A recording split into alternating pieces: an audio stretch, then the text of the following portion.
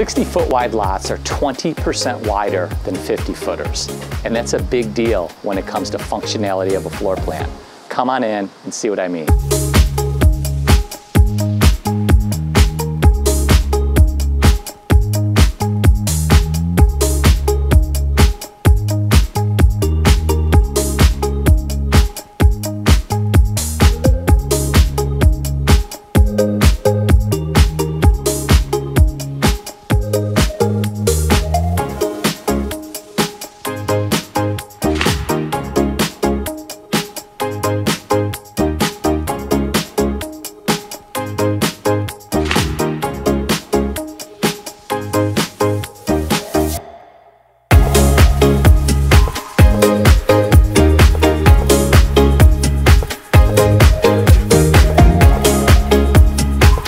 Thank you.